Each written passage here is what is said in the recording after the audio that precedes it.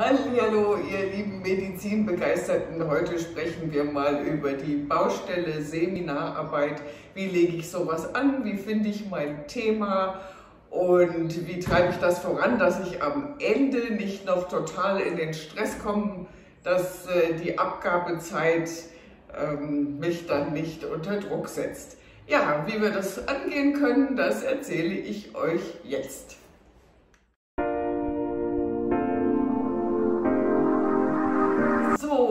Und gleich zu Anfang kann ich euch sagen, gefühlt ist es ja noch ewig hin, bis man die Seminararbeit abgeben soll und bis man dann seine Präsentation hält.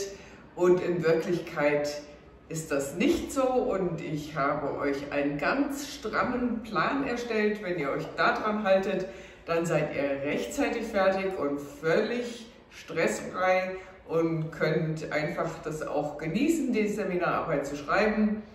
Ähm, ich blende euch jetzt hier mal meinen Plan ein.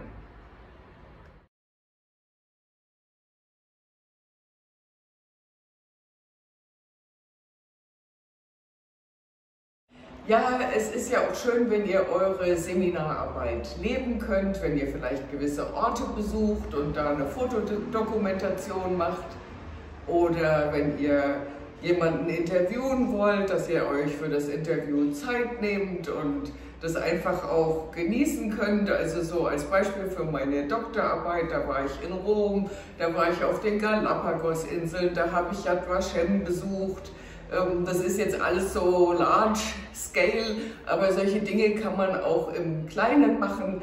Äh, macht das ein bisschen lebendig, euer Thema.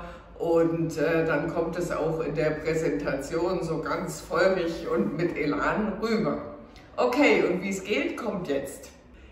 Der Grund, weshalb ich meine, euch hier gut unterstützen zu können, ist vielfältig. Äh, selber habe ich als Lehrerin auch Kurse geleitet mit Seminararbeiten, die extrem gut gelaufen sind, für die Schüler total easy. Und deswegen weiß ich, wie man sowas gut aufbaut. Äh, ich selber habe auch eine Facharbeit geschrieben, damals beim Pädagogikstudium und last not least gibt es auch eine Doktorarbeit von mir über den Papst und den menschlichen Körper. Die verlinke ich euch mal zum Spaß auch unten. Okay, also dann fangen wir mal an mit der Themenfindung. Bitte findet das Thema diese Woche noch. Macht nicht so lange rum. Welches Thema nehme ich? Was eignet sich gut? Am besten was, was euch wirklich brennend interessiert. Denn dann macht es auch Spaß, was zu erarbeiten, wenn man die hohe Motivation hat, weil man selber das auch genau wissen möchte. Also nicht lange rumeiern, Thema festlegen. So, was dann zum Beispiel bei mir bei der Doktorarbeit so war, und das empfehle ich euch auch. Mein Doktorvater hat gesagt, in zwei Wochen möchte ich von Ihnen eine Inhaltsangabe sehen. Und jetzt nehmt ihr euch mal so zwei Wochen Zeit und stöbert zu eurem Thema, was da alles relevant und interessant ist.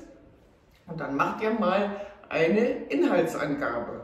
Und bevor ihr, und bevor ihr dann auch noch viel Zeit verplempert, dann nehmt ihr gleich mal das Word-Dokument und schreibt euch die Überschriften rein, macht euch mal schlau, wie man so eine Inhaltsangabe erstellt. Das macht sich ja von alleine, wenn man die richtigen ähm, Schriftarten und Überschriften auswählt. Vielleicht gibt es auch schon was von der Schule aus.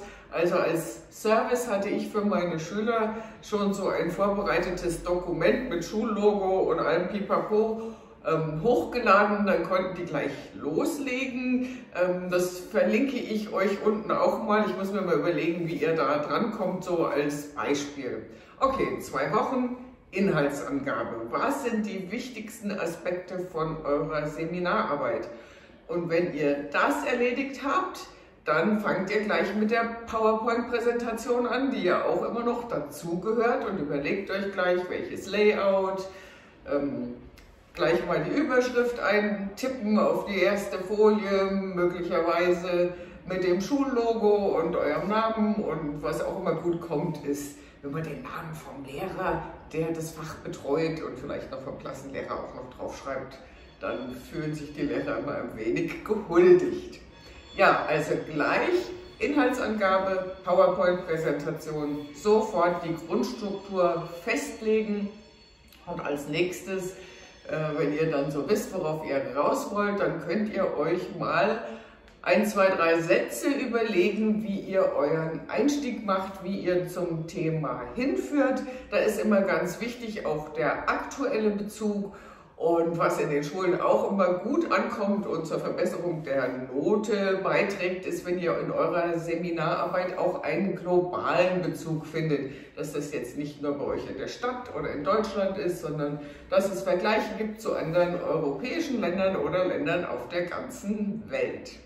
Jetzt könnte der eine oder andere sagen, äh, ich habe ja das Thema noch gar nicht so richtig erforscht ähm, wie soll ich da jetzt so einen Einstieg machen und so weiter.